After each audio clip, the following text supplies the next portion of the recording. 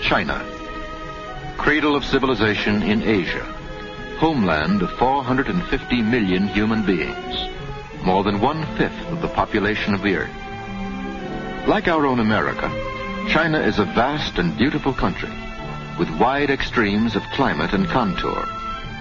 Scenes like these have inspired its poets and painters from time immemorial.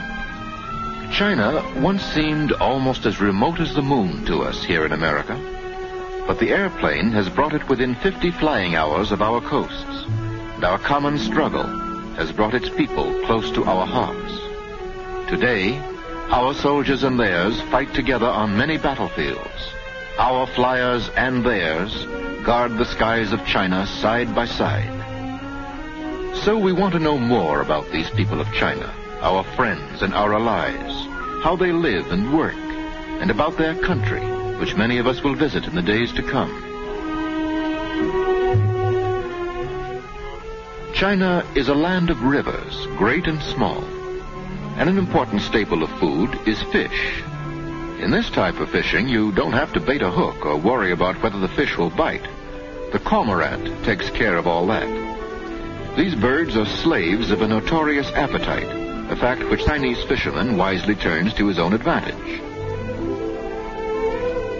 The cormorant seems to be happy in his slavery. Everyone seems contented with the whole arrangement, except, understandably, the fish.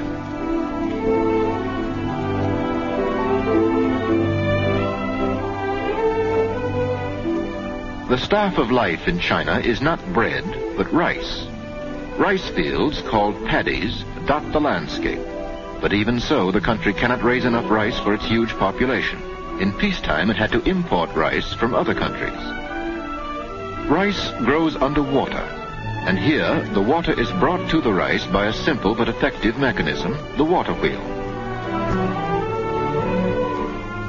Agricultural methods like these are almost as old as China itself.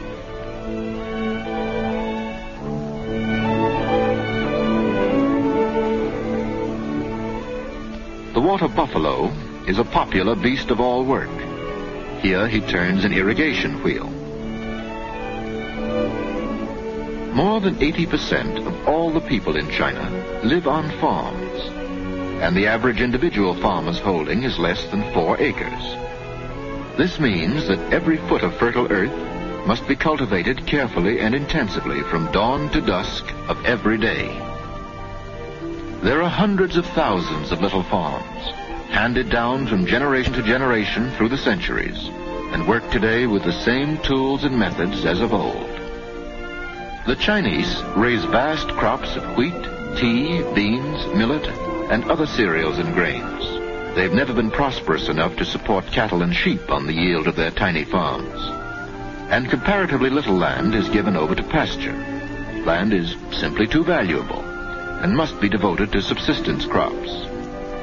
Experts from our own Department of Agriculture are now working with the Chinese government on a program of scientific farming, studying such problems as soil conservation, erosion, and reforestation.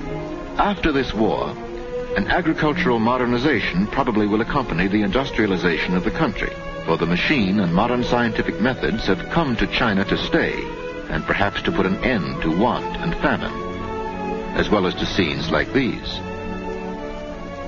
Where there are so many mouths to be fed, nearly everybody has a job to do. Yes, in China, everybody works. Well, nearly everybody. Here's a handsome and healthy looking family, and a typical farm home in the north.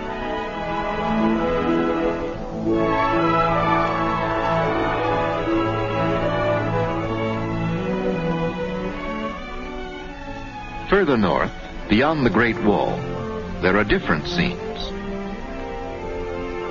This is a country of wild mountains and wastelands, of nomadic tribes of herdsmen and horsemen.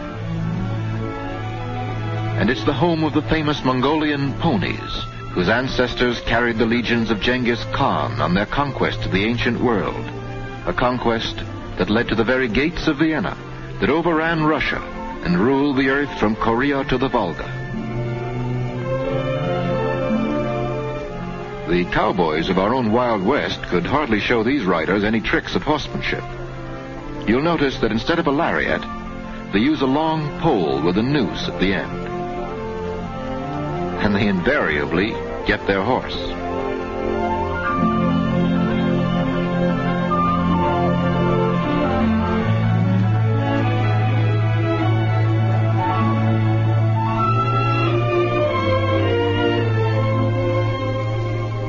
Another vital industry in China, salt.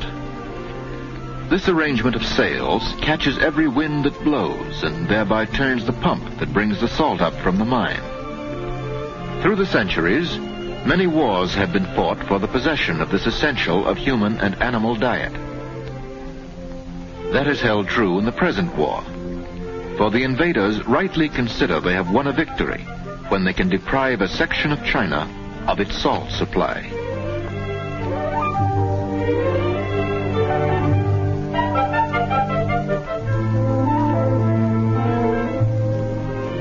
Even ice and snow do not stop the important business of fishing.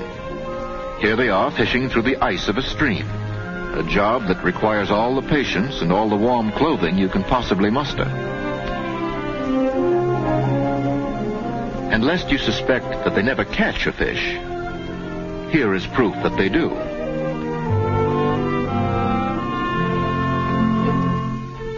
This seems to be something that the youngsters in America never thought of, spinning their tops on ice.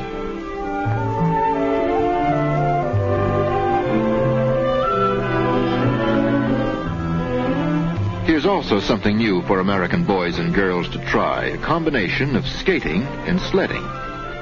This seems to be a lot of fun, but of course you have to be built for it.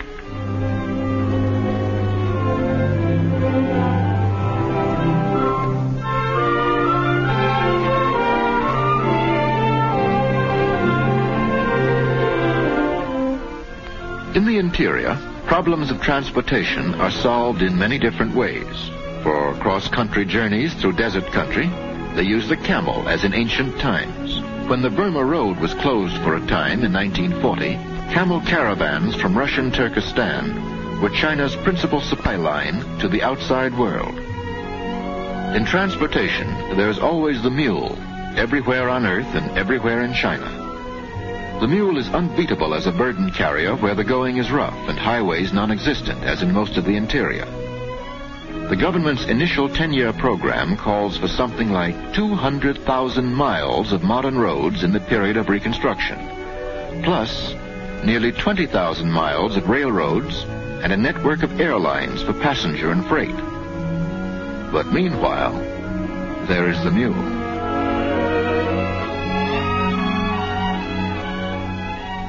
And where burdens are not too great or distances too long, human muscles do the job. Out here in the country, and in the towns and cities as well.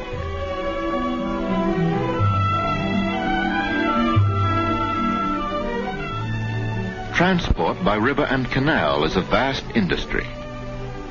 The smaller boats are called sampans. Some of them are propelled by sculls.